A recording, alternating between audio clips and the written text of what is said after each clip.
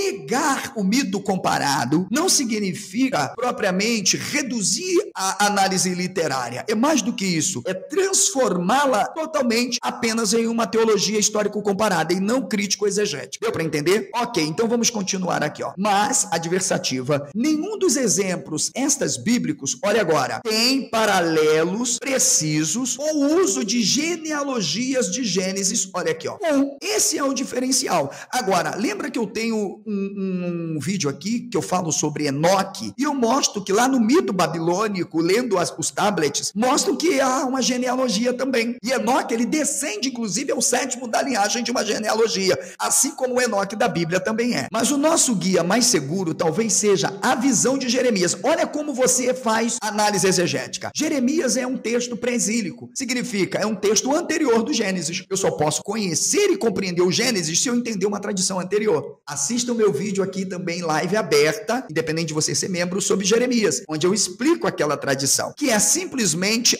olha aqui agora, de uma terra escurecida e devastada, da qual a vida e a ordem fugiram. Significa, a tradição de Gênesis, ela na verdade dialoga com uma tradição anterior, interna, vamos chamar intracultural, intertextual, que é a tradição do pré-exílico. Significa, aqui nesse sentido, eles se apropriam de todo um campo semântico como Torru, Vavorru, Raquia, Shamaim, que está presente em outras cosmogonias para construírem a estrutura literária, mito-poética e histórica de sua realidade. E eu separei aqui o texto de Jeremias 4:23. Vem para cá. Olha o que está escrito em Jeremias 4:23. Veja aqui. Olha, Rait et haaretz verhineto ruvavoru ve el hashamai ve Aqui em cima eu separei palavras para você que não sabe hebraico, não sabe porque não quer. Porque o curso mais barato de hebraico hoje na rede social é o meu. E se você se tornar membro do meu canal, assinante exclusivo, ok? Você vai ter um pacote. Você pode ter dois cursos, escolher o de hebraico e o de exegese, se quiser. Se não quiser, escolhe qualquer outro.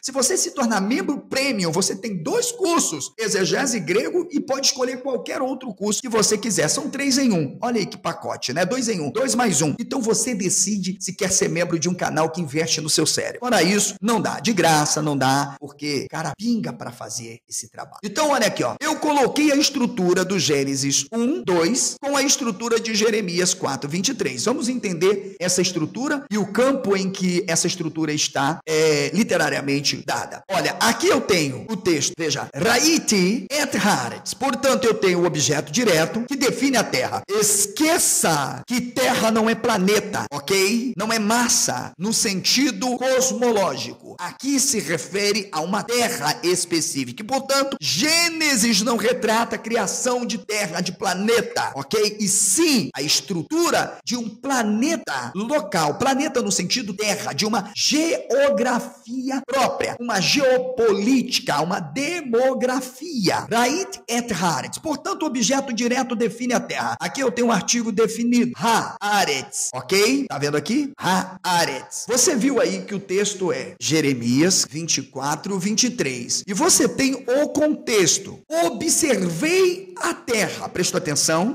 Observei a terra. É béplissa. É péblissa. Do grego. É péblissa. Eptegen kai idu tem. Os, os judeus helenistas que estão traduzindo compreenderam piamente essa ideia de um olhar para um local. Então não é observei a terra. Olha agora aqui, ó. E eis que era sem forma e vazia. O tenkai estou uranonkai okin tafotaltu. No grego, observei a terra. E eis que era sem forma e vazia. Olha agora. Também os céus sua luz. Ok, peraí. Mas se num princípio criou Deus os céus e a terra, como o profeta Jeremias poderia estar dizendo que a terra não tinha luz e os céus não a exibiam. Não pode. Tá dando para entender?